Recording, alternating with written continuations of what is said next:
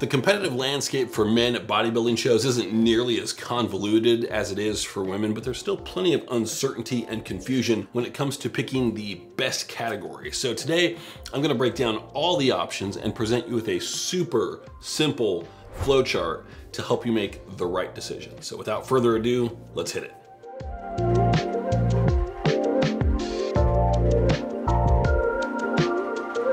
Guys, when it comes to competing, we kind of have it easy, at least compared to the women. We don't have to spend a ton of money every show on hair and makeup. We don't have to worry about jewelry and our suits typically cost about 35 bucks as opposed to several hundred at a minimum. We also only have half as many categories to choose from, which should make our decision easier, but there's still a lot of confusion out there as the categories available aren't necessarily delineated in a way that makes for a super obvious choice. Let's dive in and take a look at all the options, and we're gonna do this in more or less ascending order of muscularity and leanness. Keep in mind, the visual examples that I'm gonna show here are of the IFBB Olympia winners from last year. So very literally, these are the guys considered to be at the peak of the mountain in the world. It does not mean you have to look like this to be competitive, especially at your first show. This is just what we can safely consider to be the standard that someone in a specific category might want to aim for. So let's get started. But first, a little history. The first competitive bodybuilding show was actually held at the Royal Albert Hall in London in 1901, organized by Eugene Sandow. Fun fact, one of the judges at that show, Sir Arthur Conan Doyle. Go figure. Women weren't involved in the, until the 1960s except as beauty pageant exhibitions as kind of a bonus sideshow at the men's events. So up until 2013, bodybuilding was the only category available. Yep, Men's Physique, introduced in 2013, is barely 10 years old. Seems kind of hard to believe, doesn't it? Whatever your opinion is of Men's Physique now, there's no doubting that it's made a ton of money for promoters and has had a huge impact on making the sport and industry viable on a larger level as a whole. Classic Physique was then introduced in 2016 with an aim towards bringing back a more old school aesthetic that focused less on pure size and more on shape and flow. Since then, however, there have been multiple increases to the weight cap for Classic Physique, which has been the main difference between it and bodybuilding. And so that's helping to kind of blur the lines between those two categories once again. As always, the reasoning behind these added categories has been financial. Show organizers and promoters and the governing bodies are always looking for ways to expand the sport, get more people competing in shows, which means more butts in seats buying tickets, and also in hopes of expanding bodybuilding beyond the micro niche it currently occupies as part of our broader culture. So all that being said, let's break down the specifics and the requirements of each category, starting with men's physique. The men's physique division, or MPD, it's considered the entry level category for men. It's often derisively referred to as men's bikini, but make no mistake about it. At most shows, and certainly at the national and pro levels, you had better be packing some pretty serious size and you'd better be walking on stage pretty damn peeled in order to be competitive. Men's physique does have a reputation for being less than the other categories, but really the goal here is the same. You know, getting feedback at shows like, you're too lean for men's physique isn't really a thing that happens. You just wanna be absolutely shredded here. The body fat expectations for all men's categories are within a couple percentage points of each other realistically. What we're looking for in men's physique is pretty obvious. Big chest, big shoulders, narrow waist, wide lats, good thickness through the back. Arms should look proportionate, but there isn't a lot of opportunity in men's physique posing to show killer biceps or triceps, so strangely there's just not much of an emphasis there. The elephant in the room, of course, would be leg development. It simply doesn't matter in men's physique because the stage attire consists of knee-length board shorts. At the entry level for aspiring competitors, this is a huge leg up, no pun intended, as uh, building a quality set of wheels can be incredibly difficult, and this removes a huge barrier to entry for a lot of guys who otherwise just wouldn't be able to compete in bodybuilding or now classic physique either. Uh, the reality is that once you get to a national level and beyond, all the guys have legs, you just can't find pro caliber athletes who slack on training much of anything, even if it's not a judged criteria for their category. And as such, we've seen a lot of crossover from men's physique to classic physique. Now on stage, we just have front and back poses here with a few possible variations on each pose. In some organizations, you're gonna see some very choreographed transitions between those poses, including a bunch of arm movements and such that I think frankly just look absolutely ridiculous.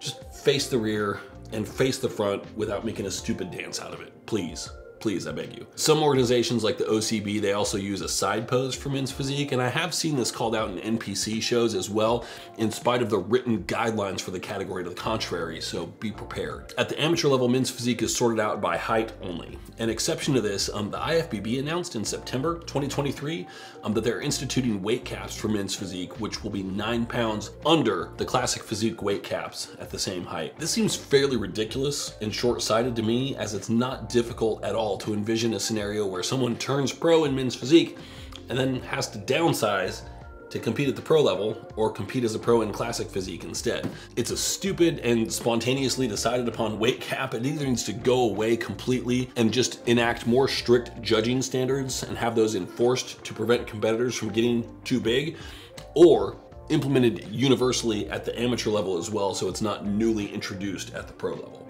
Okay, onward we go to classic physique. The big difference here between men's physique is twofold, but two branches of the same tree. Board shorts have been replaced with smaller posing trunks, which means that legs matter now. Realistically, if you're a men's physique competitor with good legs, you'll probably look reasonably at home doing classic physique as well. The posing is wildly different and closer to an old school bodybuilding presentation, but if you can learn those poses, your actual physique will likely translate over pretty well. Still, we're aiming to be as big as possible and as lean as possible here. Classic physique has an added level of complexity in that based on your height, there's also a weight cap that you have to be under now. This has the ability to add a lot of unneeded stress to prep as it's entirely possible that your height as measured at the show can be different from what you've measured at home or even how you've been measured in past shows. Being off on that by a quarter inch can mean as much as a nine pound swing in the weight cap, which can mean if you're close to the cap for your expected height, that you just can't compete or you have to cross over to either men's physique or bodybuilding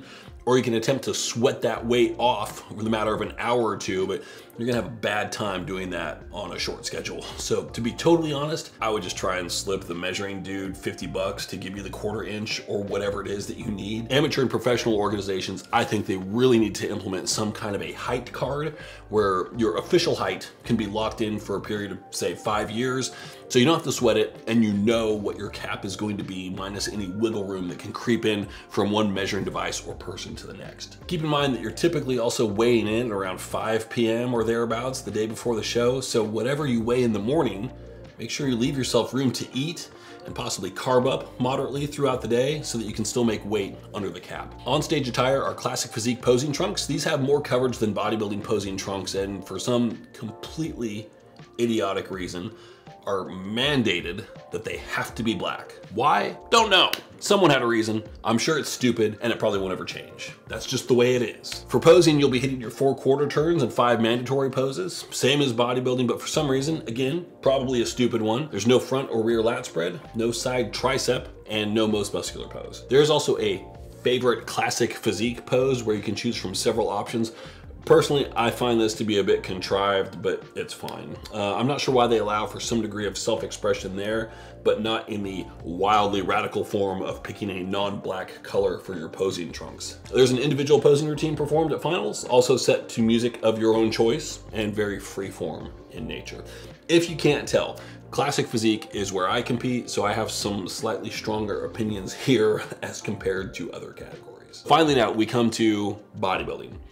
This is where it all started, and it's still considered to be the pinnacle of the sport today, even though you could make the argument that the most popular athletes might be competing in other categories. Bodybuilding is truly the category where you can never be too big or too lean, and honestly, the biggest freak will pretty much always win. There are plenty of cases throughout history where someone has enough muscle on their frame that they no longer really look proportionate or like everything fits on said frame, but they still win. Judges and the audience like the freaks. And if there's a legit freak on stage, then someone else needs to make a seriously compelling case as to why they should win over the freak. It rarely happens, aesthetics be damned.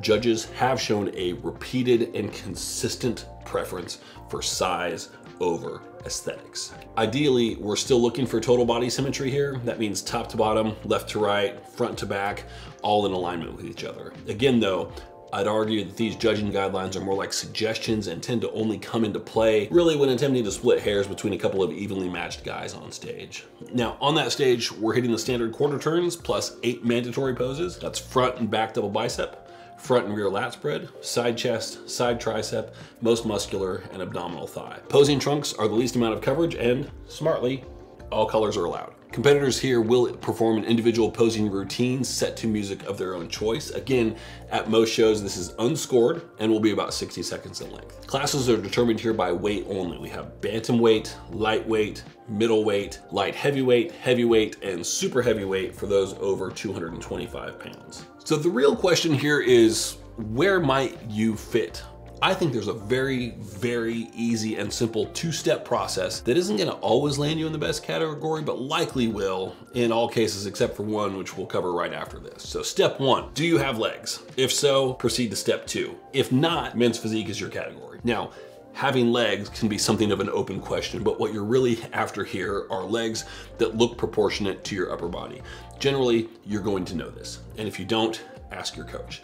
Don't have a coach? Hire one. And if you're in need of a coach, hey, that's what I do. It's what I actually do full time.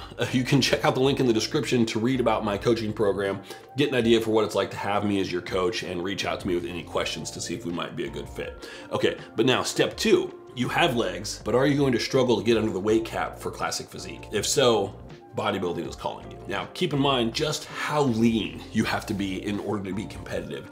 Getting under that cap isn't going to be a problem for most guys if you get lean enough to be competitive. But if you're really packing a lot of size on your frame for your height, then it's entirely possible classic physique might just be too limiting. I will say, if there is a step three in this process, it's that you need to let your preference have a say in the matter as well. For example, if you don't have strong legs, but you really just don't like the idea of board shorts and men's physique posing, then there's nothing stopping you from doing classic physique. Just understand your limitations going in and aim to improve your legs to make yourself more competitive in that category over time. Or if you just really like bodybuilding, even though maybe you're undersized, that doesn't have to mean a hard stop and that you can't consider it. I did a show a couple weeks ago and I guess that most of the bodybuilders in that amateur NPC show would have easily fallen under the weight cap for classic physique. They just preferred to do bodybuilding instead and that's fine. There's nothing in the rules that gets in the way of letting your preference be part of the decision-making process. So there you have it all the men's categories broken down. Hopefully this clears the air a bit and provides some answers. Figuring out where you belong in the big picture can be kind of tough, so don't forget to hit the link in the description to read about my coaching program. You can contact me directly from there for more information if you want it. And as always, please be kind,